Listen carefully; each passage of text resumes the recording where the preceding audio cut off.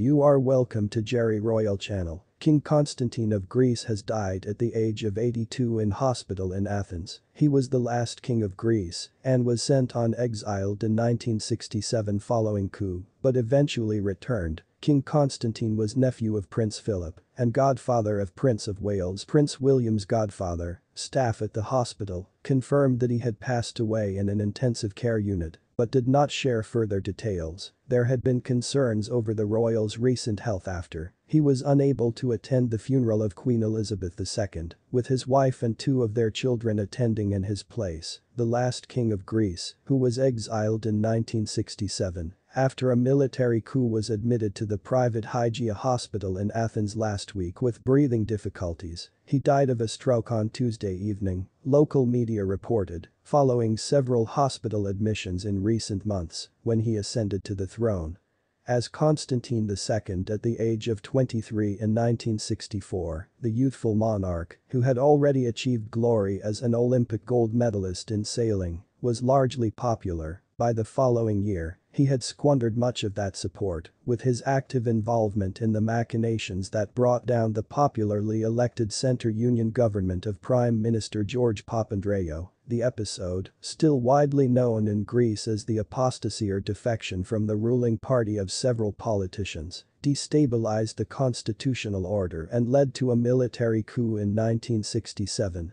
Constantine eventually had a clash with the military rulers and was forced to go into exile. The dictatorship abolished the monarchy in 1973, while a referendum after democracy was restored in 1974. dashed Any hopes Constantine had to reign again, reduced in the following decades to only fleeting visits to Greece, which raised a political and media storm each time, he was able in his waning years to settle again in his home country, when opposing his presence no longer held currency as a badge of vigilant republicanism, with minimal nostalgia for the monarchy in Greece, Constantine became a relatively uncontroversial figure from the past. Constantine was born June 2, 1940 in Athens, to Prince Paul, younger brother to King George III and heir presumptive to the throne, and Princess Frederica of Hanover, his older sister Sophia, is the spouse of former King Juan Carlos, I of Spain, Constantine, who continued to style himself as king and his children as princes and princesses despite Greece no longer acknowledging the titles, was a close friend of many senior British royals, the godfather of Prince William, King Constantine was equally King Charles's cousin,